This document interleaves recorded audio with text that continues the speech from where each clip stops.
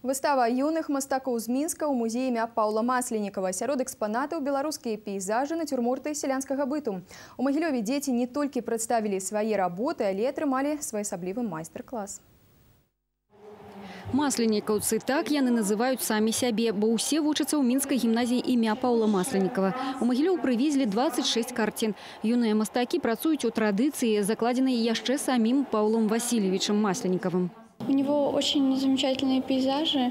Больше всего мне нравится, э, как он передает пространство и как он ставит свет, потому что это просто невероятно. Меня просто захватывает дыхание. На самом деле очень нравится его живопись. Я привезла с собой работу из строчиц. Мы ездили да, на пленэр, и я считаю, она полностью описывает нашу белорусскую культуру, наш белорусский быт, и считаю, она очень подходит этот музей.